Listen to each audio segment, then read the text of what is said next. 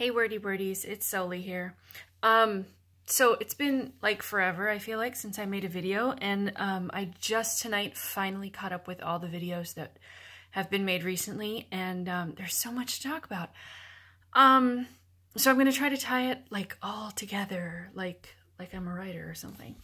Um, first, way back when Emily, I think, asked um about organization and I keep meaning to show this and forgetting. So um, I want to start by showing when I do my writing every day, it looks like it's in a journal like this or that or whatever I happen to be writing in. Something I can fit in my purse is the requirement. Um, but this one is awesome. It was given to me by Mallory. And this is what it looks like in my writing journal.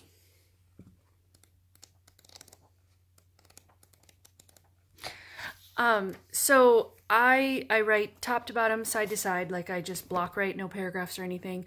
Um, and uh, the highlighting that you saw along the sides, so after I've written, I just do it chronologically, and after I've written, I go back and I highlight the edges um, with different colors that mean like fiction or uh, poetry or journaling or research or whatever.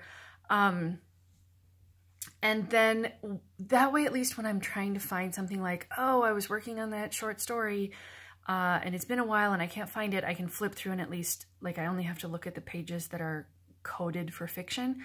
Um, somehow that's helpful to me.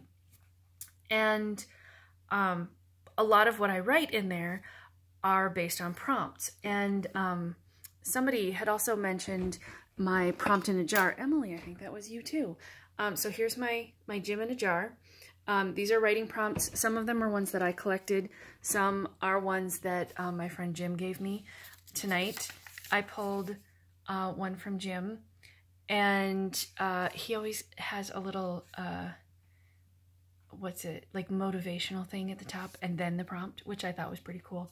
Um, so his motivational uh, advice for us tonight is use your talent to make yourself happy first, which I think is awesome and is important.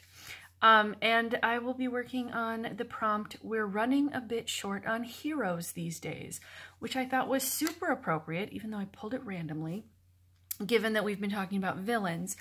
And I don't have a whole lot to add to that. Um, I feel like everybody's kind of said a lot of the things that I would have said. Um, I, I just want to like wholeheartedly second um, Eric. You said, you mentioned the, um, you know, villains are the heroes of their own story. And I think that is absolutely important. I think um, the, the villains that I read or experience that, that are interesting are the ones who, who really think that they are doing the right thing in some way. Not not necessarily that they're doing the right thing, but that they have a reason for doing what they're doing. Um, not to do any spoilers because we're not allowed. Um, but from Infinity Wars, you and Eric, you and I have talked a, a little bit about um, Thanos and how in this movie he was so relatable in a sense, and and that's because he truly thought the decisions he was making were based on important things and that he was making the right decision for the situation. And that made him um, very uh, well-rounded. Um, and so, I mean, I guess everything else, I agree with what everybody else has been saying. And um, I tend to write villains who are pretty chill for a while and then they snap and they, you know, smash someone's head in with a paint can or something. Like I, I, I may have some issues, you guys. Yeah. Anyway, um, and then as far as outlines go, I, I proudly wear my Pantsing World Domination shirt from uh, DFW Con last year. And I don't, hello, focus. There we go.